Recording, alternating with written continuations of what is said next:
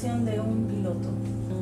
O sea, ¿qué, qué, qué bueno, ¿Cómo es la disciplina? Sí, definitivamente un, un corredor necesita mucha disciplina, como cualquier deportista profesional.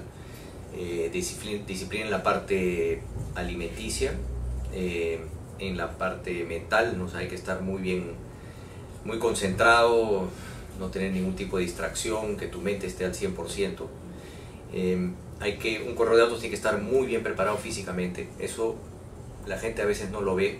Acá en Perú, al ser el automovilismo bastante amateur, eh, la gente a veces ve pues, en los periódicos los corredores que no se ven que, que están físicamente muy bien.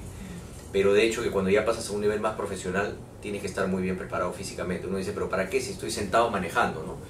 Pero sí te exige muchísimo. claro, si pesas mucho también es contraproducente.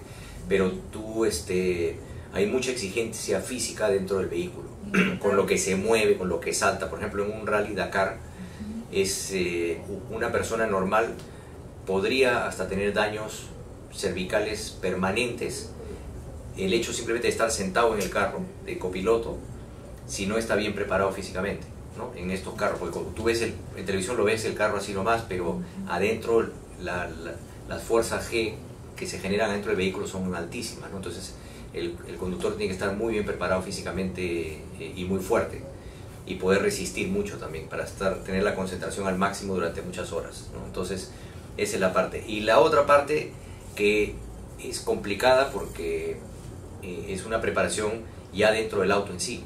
¿no? Entonces, eh, como cualquier otro deportista, tú tienes que entrenar en el carro. ¿Cuántas horas se practica?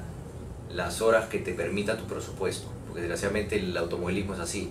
Los presupuestos son tan altos que cada vez que tú sales con un carro carrera, a practicar o a probar cuesta bastante dinero. No puedes salir a probar aquí en la calle. ¿no?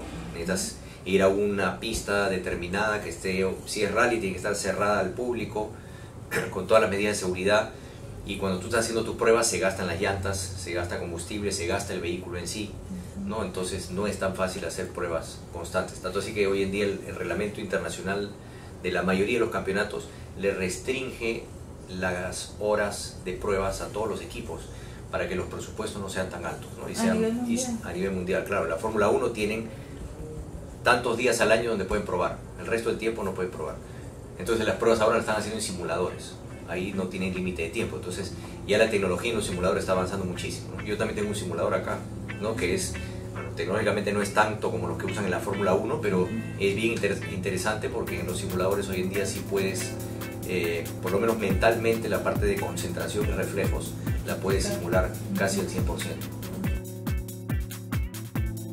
Hola, ¿qué tal? Soy Ramón Ferreiros y quiero mandar un gran saludo a todos los amigos de C2 Diseño y decirle a todos los que tienen un sueño, los que quieren dedicarse al deporte en sí, al automovilismo, cualquier deporte en general, que todo es posible en la vida.